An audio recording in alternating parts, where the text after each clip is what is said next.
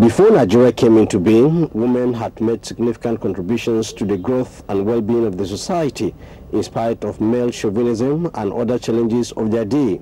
On display at the National Conference to mark 100 years of Nigerian women at the ongoing centenary celebration of Nigeria were women whose contributions to the society in pre-colonial times continue to be subject of discourse.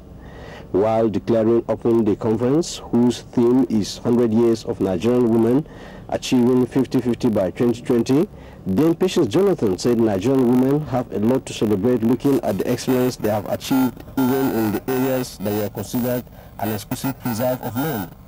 This, she said, has led to the present situation where women continue to make progress in all sectors. We could not have attained this level of development in this country without the vital contributions of these great women at various times in our history. However, she said the journey ahead is still one that needs more push by women.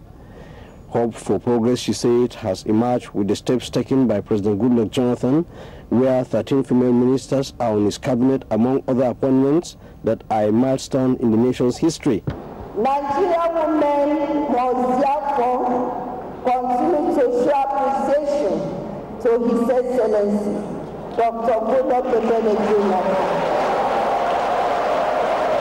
Nigerian women should know that more than ever, this is their government.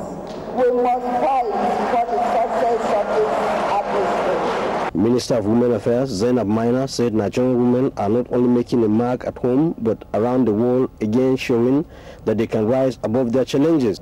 Justice Mary Odili represented the Chief Justice of Nigeria, Aloma Mukhtar, where she said enacting the affirmative action into law will fast-track the achievement of 50-50 by the year 2020. The conference continues with resource persons delivering papers and leading discussions.